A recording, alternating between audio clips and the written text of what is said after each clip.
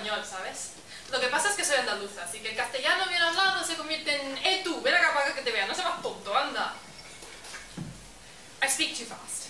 Hopscotching over words and only tripping over every third, I have to make a conscious effort to slow down.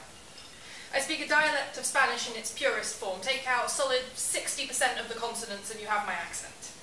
When people find out I speak another language, they say, say something. Like I'm a circus act.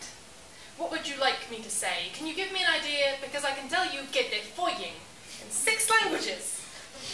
I was six years old when we moved from rolling hill industrial estates, rain and concrete city knife crime to spaghetti western canyons, olive trees and heat, where the orange dust flows up from the Sahara and saturates the world. I've been told I look Spanish. I'd like to ask how. I don't tan. I have friends that do, my mother does, but I'm too tall, too pale, too cheekbony to really be Mediterranean. I speak more fluently than my high school classmates, but I can't afford the nationality.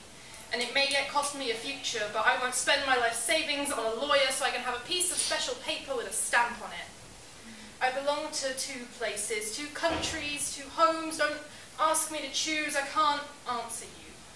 What I called home as a child doesn't feel it anymore, but I watched my mother's face break the first time I slipped up and called where I am now home. Y me lo vas a pedir de todas formas. ¿Cuál prefiero? Un hogar es más que una casa, es más que pared y techo y suelo, el hogar es familia. Y lo que pasa es que la familia es más que solo sangre, pero a un tan extranjero que le importa. Déjame en paz. Paz is not a feeling that I'm used to. Christmas spent in airports and cars, a Ryanair sandwich of my time at home. My home.